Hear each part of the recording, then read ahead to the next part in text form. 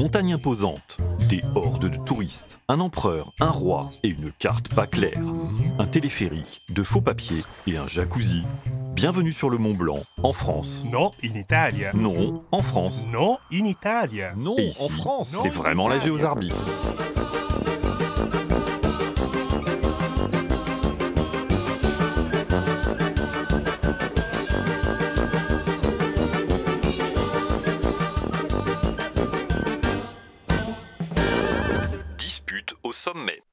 De quelle nationalité serait un enfant qui naîtrait sur le Mont Blanc?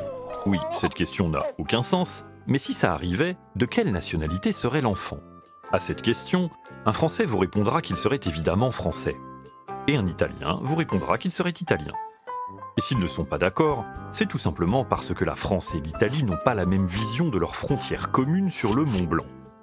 Pour la France, le Mont Blanc est intégralement sur son territoire, alors que pour l'Italie, la limite entre les deux pays passe au sommet de la montagne.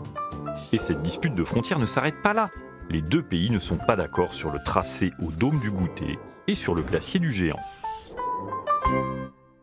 Le Mont Blanc donc, 4807 mètres et 80 cm exactement, la plus haute montagne d'Europe. Il peut y faire moins 40 degrés, le vent peut atteindre 300 km/h, de la neige, des cailloux, de la glace. Non, de la glace, voilà. Bref, rien. Enfin, pas tout à fait, car il y a des alpinistes. Pas mal d'alpinistes même. Le premier à l'avoir escaladé est un certain Jacques Balma, accompagné du docteur Michel Paccard, le 8 août 1786. Pour l'époque, c'est un exploit presque aussi dingue que d'aller sur la Lune. Et encore aujourd'hui, le Mont Blanc est un endroit qui fait rêver les alpinistes du monde entier. Mais alors, pourquoi une frontière aussi floue? Un petit cours d'histoire s'impose. L'histoire du Mont Blanc est liée à l'histoire de la Savoie. Cette région des Alpes a longtemps fait partie d'un royaume plus étendu qui, à partir du XVIIIe siècle, s'est appelé Royaume de Sardaigne. À cette époque, le Mont Blanc est donc sarde. Au milieu du XIXe siècle, le roi de Sardaigne Victor Emmanuel II a un rêve unifier l'Italie, qui n'est encore qu'une mosaïque de royaumes, duchés ou républiques. Mais l'Autriche, présente à Venise et en Lombardie, s'oppose à ce projet. Napoléon III, au pouvoir en France, offre alors son soutien.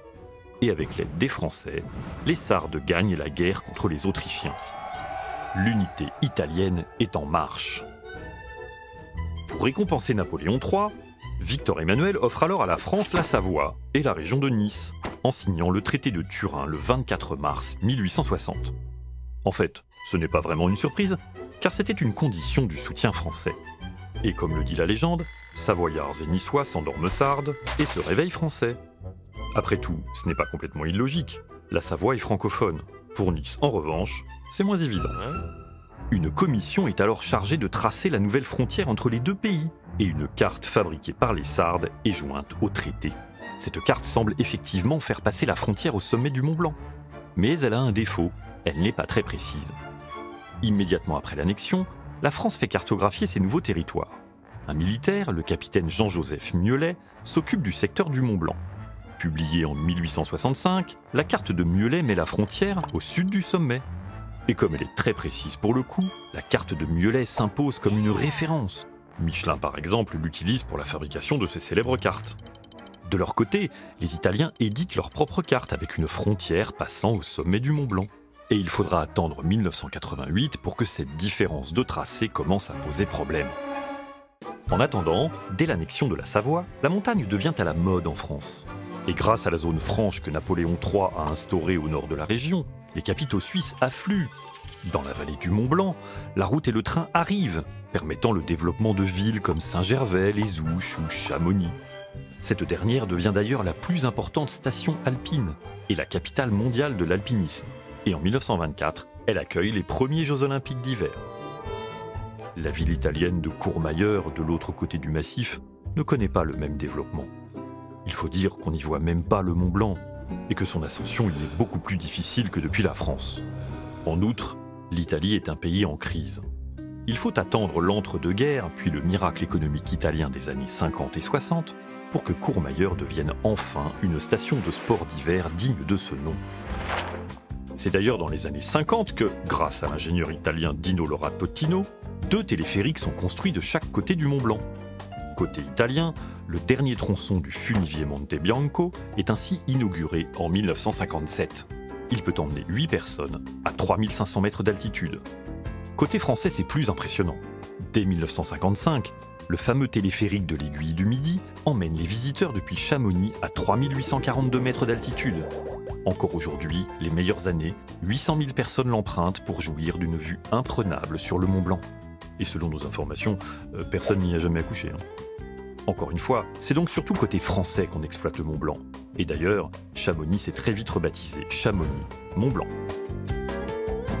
Mais 1988 arrive, et le 23 avril, à Nice, lors d'une simple réunion d'une commission chargée de l'entretien des bornes frontières, Français et Italiens constatent avec stupéfaction que leurs cartes sont différentes.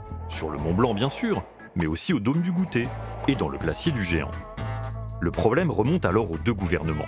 Jusque dans les années 2000, des échanges diplomatiques ont lieu. Mais rien n'y fait. Les deux pays campent sur leur position. Pourquoi un tel blocage? Côté italien, on brandit évidemment la carte sarde. Côté français, on la juge non recevable, car imprécise. Et puis, le temps a joué son rôle. En Italie, des générations d'écoliers ont appris que le Mont Blanc était partagé entre les deux pays, tandis qu'en France, la carte de Mieulet, autant que l'exploitation du Mont Blanc, ont installé dans les esprits que la montagne était française. Petite parenthèse au passage, les Français ont perdu leur exemplaire de la carte sarde lors de la débâcle de 1940. Et ce n'est pas la seule erreur des Français dans ce dossier. En 1947, ils ont aussi oublié de faire enregistrer le traité de Turin à l'ONU, alors qu'ils s'y étaient engagés. Un détail qui permet aujourd'hui aux quelques indépendantistes savoyards de proclamer que le traité de Turin n'est plus valable, et que la Savoie n'est donc plus française. S'estimant en résistance, quelques gouvernements provisoires autoproclamés se disputent aujourd'hui la Savoie. Certains proposent même plaques d'immatriculation, pièces d'identité ou encore permis de conduire à leurs sympathisants, ce qui leur vaut quelques soucis avec les autorités de la République. Français, Italiens et donc aussi Savoyards, tout le monde se dispute le Mont Blanc. Mais au fond, pourquoi? En France, pays obsédé par sa grandeur, on ne peut pas s'imaginer sans le toit de l'Europe. Comme le disait Charles Vallot, inventeur des guides du même nom, le Mont Blanc est une montagne dont la cime est chargée d'humanité et marquée par la pensée française. Bah évidemment, tiens. Les Italiens ne sont pas insensibles au prestige de l'endroit, mais ils sont peut-être plus philosophes que les Français. En 1996, le secrétaire d'État Piero Fassino disait en effet Personne n'a l'intention de transformer le problème en un différent territorial anachronique.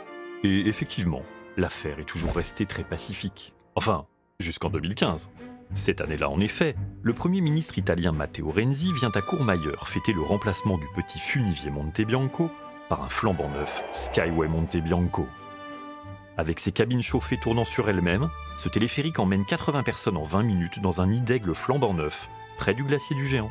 Souvenez-vous, revendiqué par les deux pays. À ce jour, le téléphérique le plus cher du monde. Et sur place, une vue tout aussi imprenable sur le Mont Blanc que depuis l'aiguille du Midi. De quoi faire de l'ombre à Chamonix. Alors, lorsque le maire de Chamonix, justement, fait installer une barrière sur le glacier du géant, pas très loin de l'arrivée du nouveau téléphérique, il provoque un incident diplomatique. Pourtant, son but était simplement d'empêcher les touristes venus d'Italie de s'aventurer en zone dangereuse. Peut-être aussi pour éviter qu'une femme accouche sur le glacier? Cinq ans plus tard, en 2020, nouvel incident. La France annonce la création autour du Mont Blanc d'une zone protégée qui empiète sur les territoires disputés. Cette fois encore en Italie, on s'étrangle. Et oui, la dispute pour la souveraineté sur le Mont Blanc est affaire de prestige, mais peut-être aussi une lutte d'intérêt. Et pourquoi la France veut-elle faire du Mont Blanc une zone protégée? Parce que sa fréquentation pose aujourd'hui problème. Chaque année, plus de 20 000 personnes tentent son ascension, parfois équipées comme des touristes. Et puis il y a des expériences dans tout genre. Arriver au sommet en avion, en parachute, et même il y a longtemps, à moto. Des concerts y ont été organisés. En 2017, des Suisses y ont même installé un jacuzzi. Euh, si ça continue comme ça, quelqu'un viendra effectivement un jour accoucher au sommet du Mont Blanc. hein. Et cette suractivité provoque évidemment pollution et dégradation, mais aussi des accidents. Dans le massif, les secours français interviennent près de 900 fois par an. Jusqu'à 15 personnes y meurent chaque année. Et depuis 1958, 160 personnes ont purement et simplement disparu. Dites, euh, ça vaut vraiment le coup de se disputer pour le Mont Blanc? Mais ne vous inquiétez pas, Français et Italiens savent aussi travailler main dans la main quand il le faut. Depuis 2017 en effet, les deux pays préparent ensemble leur candidature pour faire inscrire le Mont Blanc à l'UNESCO sur la liste du patrimoine mondial de l'humanité. Mais alors, si le Mont Blanc appartient finalement à l'humanité, y aura-t-il encore un sens à parler de frontières à son sommet?